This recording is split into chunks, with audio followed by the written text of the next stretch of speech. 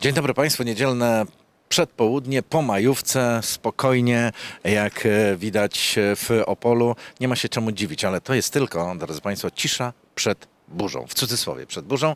Ze mną dwie maturzystki e, opolskie, drugie liceum ogólnokształcące, e, czyli Kalina Kowcun. Dzień, dobry. dobry. witam Cię bardzo serdecznie i Maja Grzyb, witam Cię bardzo serdecznie. Dobry. Znalazłyście czas w niedzielę, bardzo dziękuję. Myślałem, że już maturzystki w niedzielę o tej porze to myślą tylko jednym, czy wszystko na tych kartkach przygotowywanych e, przed maturą jest dobrze wypełnione, napisane i że powtórzone jest wszystko.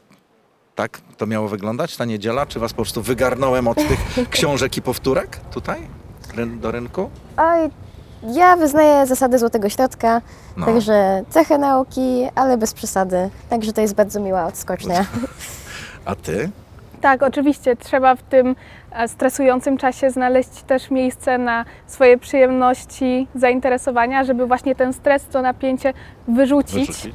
No. I myślę, że każdy zna siebie na tyle dobrze, żeby wiedzieć, co to jest. Czy to sport, czy może oglądanie telewizji, tak Mhm. dalej. Ale 48 godzin dziewczyny wam zostało do tej e, matury, to ja myślałem, że już nic, jesteście zamknięte tylko w pokojach, skupiacie się i koncentrujecie.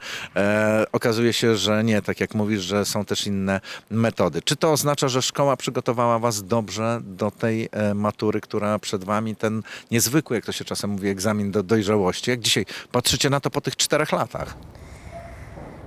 No, szkoła szkołą, ale to w dużej mierze zależy od uczniów. I nauczyciel może być świetny, ale jeśli, jeśli uczeń nie chce się przygotować albo ma to głęboko gdzieś, no to nic z tego nie wyjdzie. Tu, no, o ile nauczyciele świetni, no to tu Mhm. rzeczywiście dużo zależy od podejścia samego ucznia.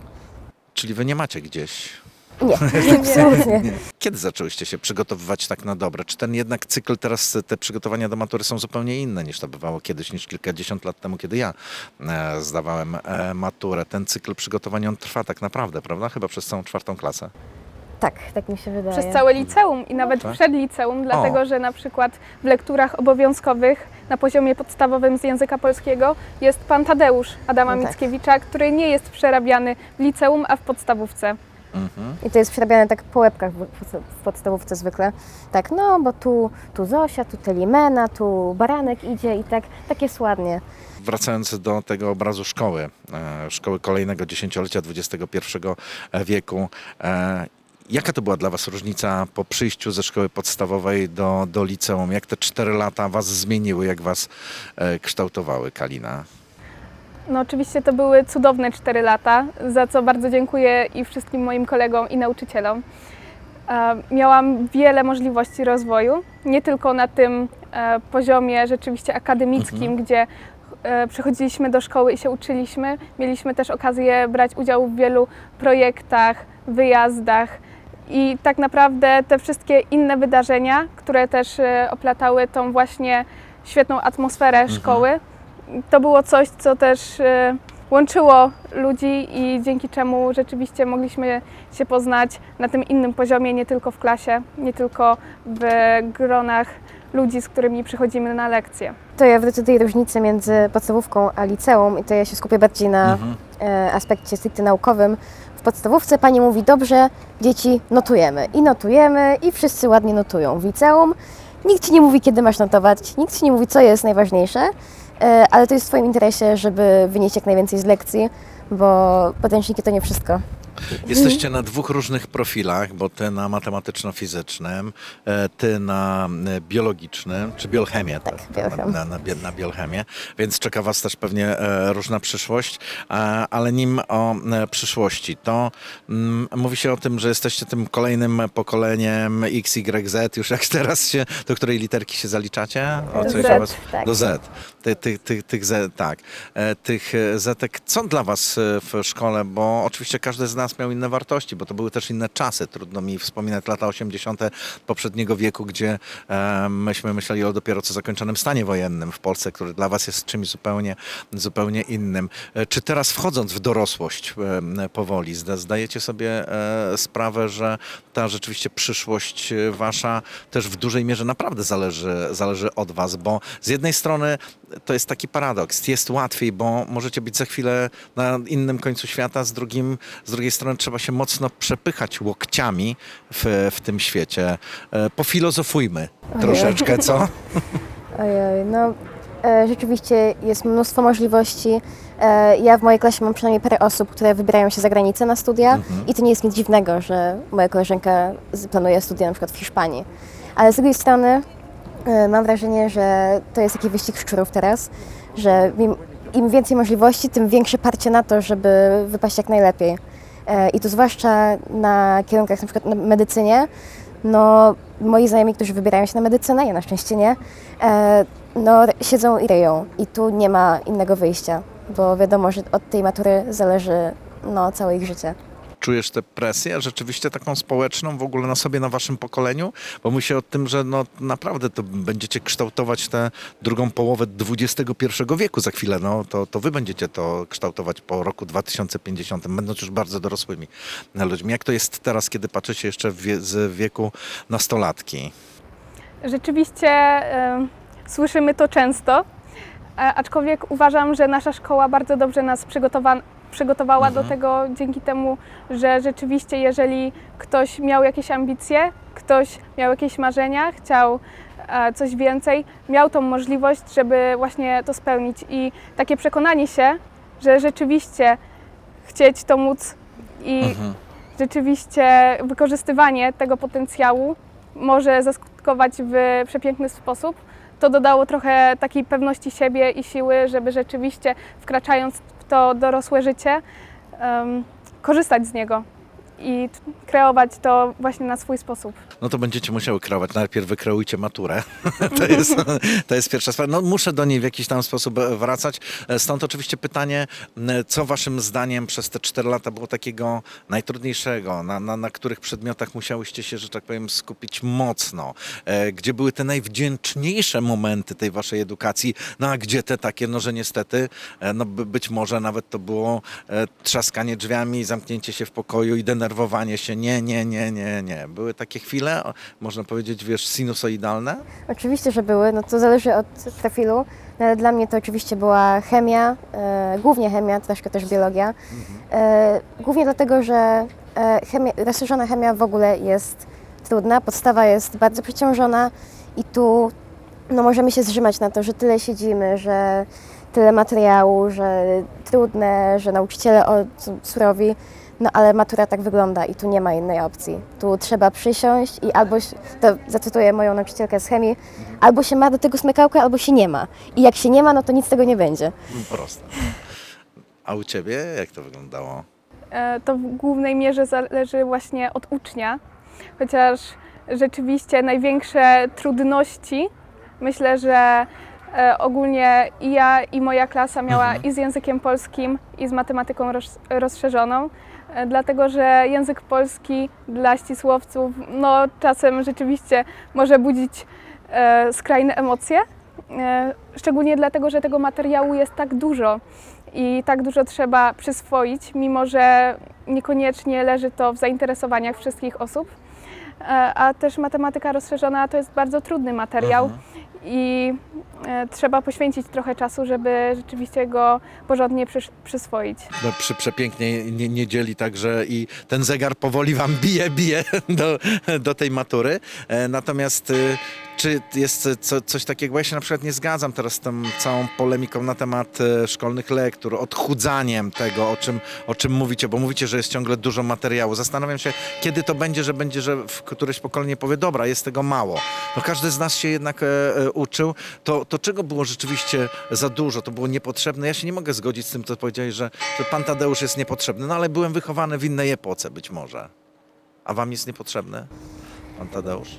Potrzebny, ale mam wrażenie, że em, można to zrobić lepiej. To znaczy skupiamy się bardzo mocno na tych lekturach i to mam wrażenie, że czasami nauczyciele wymagają od nas wykucia na przykład dziadów na blachę, bo tu jest motyw mesjanizmu, tu jest Dziady na motyw... blachę. Fajne stwierdzenie, powiem państwu. Nie słyszałem jeszcze.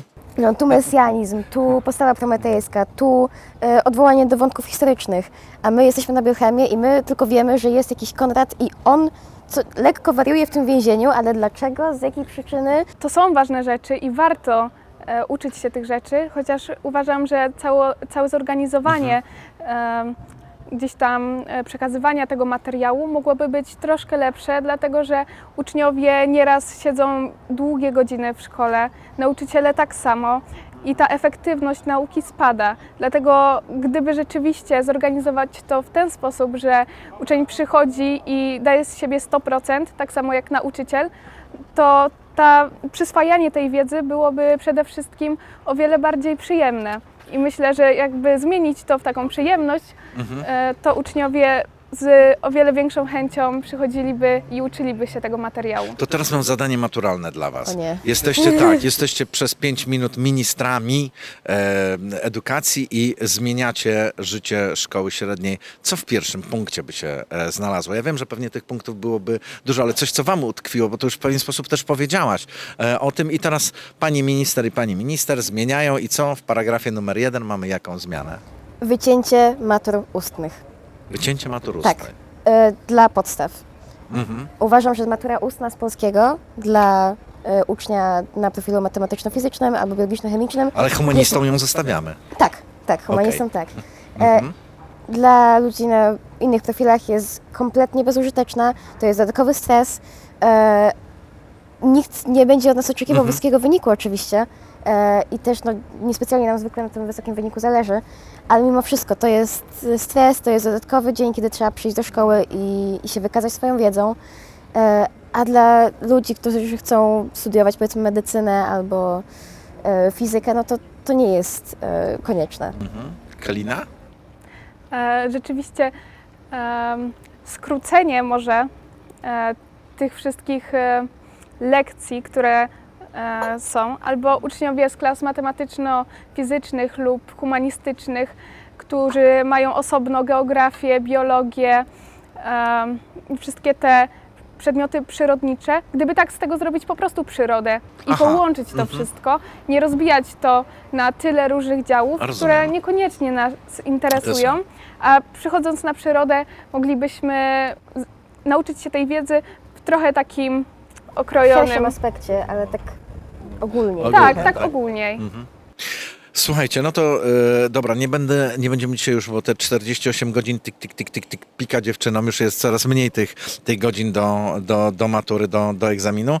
E, czy jest, macie jakiś pomysł, macie jakiś specjalny fetysz maturalny, wiecie, że na egzamin trzeba zabrać to tamto, oprócz oczywiście rzeczy obowiązkowych, które trzeba zabierać na, na, na egzaminy maturalne, że e, nie wiem, w ostatnich, nie w ostatnich 24 godzinach nie będziecie robić tego, albo będziecie robić to, czy to już jest jakiś taki ceremoniał, który, e, który macie i który, z którego będziecie chciały skorzystać w ciągu tych ostatnich 24 godzin? Mm, No to w poniedziałek, jutro na pewno nie zamierzam się uczyć już. Mhm. Jutro tylko relaks.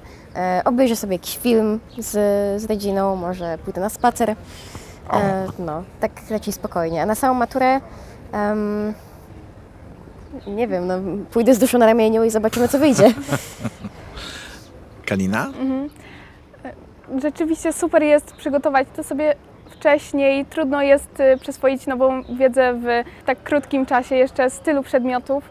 Myślę, że po prostu takie sumienne przygotowanie się na drugi dzień, wyprasowanie ubrania, przygotowanie e, długopisów, kalkulatora. Myślę, że to wystarczy, żeby tylko następnego dnia wstać Ale myśl, i no, przygotować się. a myślicie, że to jest tak, że to jest ten, jak już ten pierwszy egzamin, niezależnie od wszystkiego, będziemy po to, już tak z nas to zejdzie, to ciśnienie i później już jesteśmy jak e, skoczkowie na, na, na, na, na rozbiegu, czy, czy, czy, czy to nie jest Chyba tak? Że, nie, nie, bo rozszerzenia piszę, piszemy później, tak? Bi- Ja Mhm. tę biologię i chemię piszę, nawet nie wiem kiedy dokładnie, ale jeszcze nie w tym tygodniu, e, nie, nie w przyszłym Mhm. tygodniu. E, I myślę, że dopiero po rozszerzeniach już będę mogła lekko odetchnąć. Tak, zgadzam się. Zgadzam się. Jednak te rozszerzenia na przykład z matematyki, czy ja akurat nie piszę, No. ale moja klasa pisze fizykę, to są naprawdę wymagające rozszerzenia i rzeczywiście budzą w uczniach bardzo dużo stresu. Więc myślę, że dopiero gdy one miną, to gdzieś tam ta ulga zejdzie. Okej, z- moje pytanie ostatnie będzie dotyczyło Waszej przyszłości, ale teraz jeszcze jest przedostatnie pytanie. E, co się dzieje w życiu nastolatek poza szkołą? Czyli chciałem Was zapytać o, o Wasze pasje, o Wasze hobby, o, o, o Wasze takie e, codzienne życie. E, przychodzimy ze szkoły, rzucamy torbę i... I gdzie są te Wasze pasje? Pochwalcie się tym, e, co robicie, co lubicie, czym się pasjonujecie. Jestem czasem pod wrażeniem różnych pasji, które mają moje koleżanki czy koledzy, Mhm. ale rzeczywiście, jeżeli chodzi o mnie, to rozwijam się w stronę teatru i filmu. E, To są miejsca, e, takie jak teatr, gdzie rzeczywiście jestem w każdym tygodniu i właśnie w takich miejscach e, staram właśnie być i gdzieś tam przyswajać i tą wiedzę, ten klimat, żeby rzeczywiście dodawało to takiej dodatkowej energii, bo rzeczywiście jeżeli łączy się Matematyka, aktorka nam rośnie. gdzieś tam łączy się i pasję i tą naukę, to później jakoś tak łatwiej się żyje. Okej. A Maria? E, no ja mam to do siebie, że zaczynam nowe hobby, przez dwa tygodnie robię tylko to nic innego, a potem to porzucam e, i nigdy do tego nie wracam. E, ale z takich, Hobbystka czasowa. tak, ale z takich stałych rzeczy, no to ja nurkuję. Em, teraz robię kurs na płetwonurka eksploratora. O, Oprócz tego dużo czytam i piszę. E, W szkole brałam udział w wielu konkursach dotyczących pisania. E, Piszę po polsku, po angielsku, ale tak bardziej dla siebie, nic, nic większego.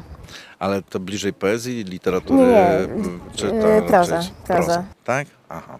Okej, no to mamy tu prozę, pisarkę, artystkę, matematyka, ludzie, co się dzieje?